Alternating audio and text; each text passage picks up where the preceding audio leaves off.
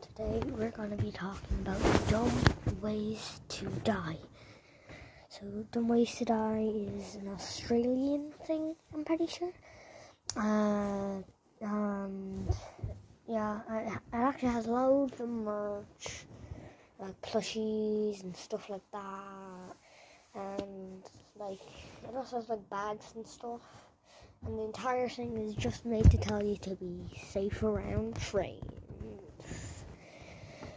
Some ways that I originally um, planned to have like maybe around like 100 or like 200 pledges.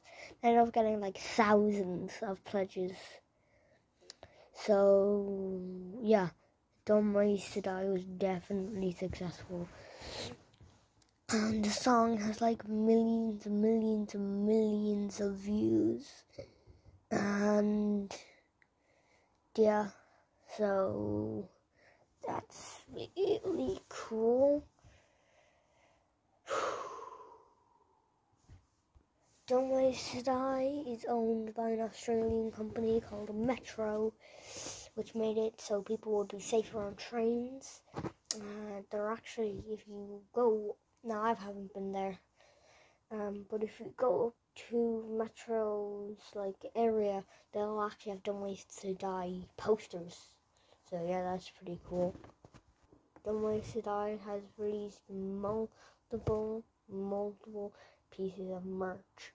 And I've already said that. But the plushies plays this little jingle.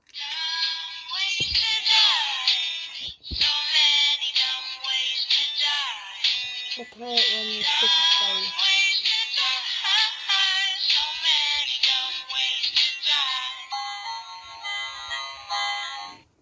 this because I own most of the plushies. The plushies that they have are Numpty, Clod, Stumble, Doomcough, Dunce, Botch, and the one that I don't have bonehead. So yeah, that that is dumb ways to die. Um, so yeah, that's all I have to say.